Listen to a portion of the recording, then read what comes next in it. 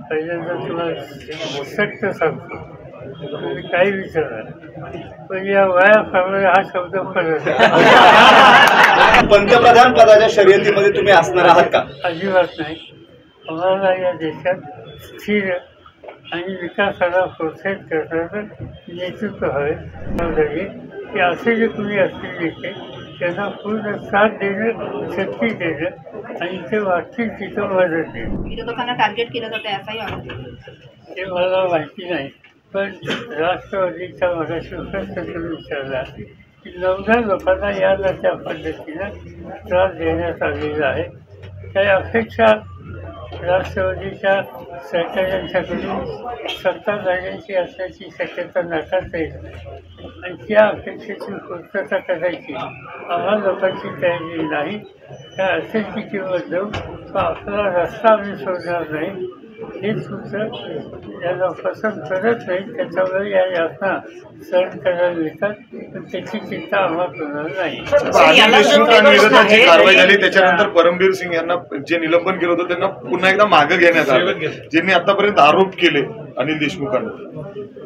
प्रश्न तो एकच नाही त्यांचा अनिल देशमुखांच्यावरचा त्यांच्याबद्दलच्या केसेस किती आहेत महाराष्ट्र गव्हर्नमेंटनीच माहिती कळवली ठाण्यामध्ये असताना किती केसेस झाल्या आणखीन मोबाईलमध्ये आल्याच्यानंतर त्यांच्याबद्दलच्या तक्रारी किती झाल्या कशा प्रकारच्या या सगळ्याच्या खोलामध्ये गेल्याच्यानंतर एक काहीतरी एखादा फेंडर बॉक्स खोलतो त्यातनं बाहेर पडतं तसं काढल्याशिवाय राहणार नाही. म्हणजे चुकीचं काम करणाऱ्यांना संरक्षण चुकीचं काम करणाऱ्यांच्या सल्ल्याने ज्यांचा आहे अशा लोकांना त्रास हे सूत्र आत्ताच्या सरकारचं या ठिकाणी दिसतंय. सर याला दोन प्रश्न आहे की तुम्ही जसं सांगितलं की राष्ट्रवादीच्या मुख्य नेत्यांना टार्गेट केले गेले त्यातलंच एक उदाहरण म्हणजे नवाब मलिक.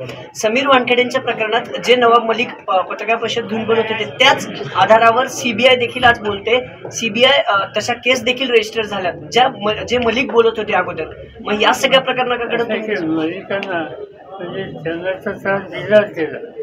आणि सातत्याने ते जे काही चुकीच्या गोष्टीच्या संबंधीची भूमिका मीडियाच्या संबंध मांडत होते त्याची किंमत त्यांना मोजावी लागली. सत्य असताना सुद्धा पण किंमत मोजत असताना ज्यांच्या संदर्भातली त्यांनी भूमिका घेतली होती आज त्या लोकांच्याबद्दल काही कार्य करण्याचा निर्णय देशातल्या मोठ्या संस्थेने सीबीआयला घ्यावा लागला.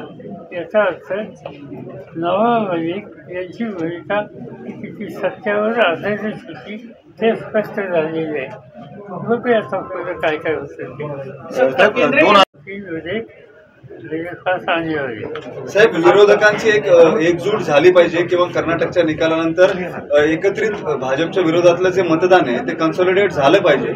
यासाठी तुम्ही वेगळा काही प्रयत्न करणार आहात का? नितीश कुमारांनी पाऊल पुढे टाकलंय. आता प्रत्येकाशी बोलतोच आहे. मला स्वतःला उभं राहायचं नाही. मला या सगळ्यांना एकत्र आणण्याच्यासाठी हातभार लावायचा. आहे तो तो माझा चालू आहे. नितीश कुमारचा चालू आहे. अनेकांचा. साहेब तुमच्या भोवतीनं सातत्यानं एक चर्चा कायम राहिली ती पंतप्रधान पदाची. तुम्ही त्याच्यावरती आता निवडणुका समोर राहणार नाही. हा मग चर्चा त्याच आहेत की तुम्ही जो इंटरेस्ट घेताय याही वयाच्या टप्प्यावरती त्यात तुम्हाला काहीतरी पंतप्रधान पदाचा छोटासा होप दिसतो. असं तुम्ही म्हणता असं लोक अशी टीका तुमच्यावर होते खरं तर. तुम्ही या सगळ्या टीका रुल आउट करून एकत्रित फक्त भाजपच्या विरोधातलं मतदान कन्सॉलिडेट व्हायचा प्रयत्न.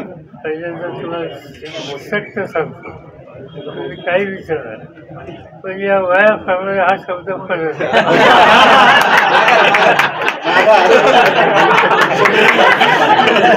शब्द- माघारी घेतले. पण पंतप्रधान पदाच्या शर्यतीमध्ये तुम्ही असणार आहात का? अजिबात नाही आम्हाला या देशात स्थिर आणि विकासाला प्रोत्साहित करणारं नेतृत्व हवे आम्ही सगळे एकत्र बसू उद्या जनतेने उत्तम सकाळची साथ दिली शक्ती दिली त्यातनं आम्ही करू आणि माझ्या सरकारची जबाबदारी की असे जे तुम्ही असतील नेते त्यांना पूर्ण साथ देणं शक्ती देणं आणि ते वाटतील तिथं मदत देणं. Thank you very much sir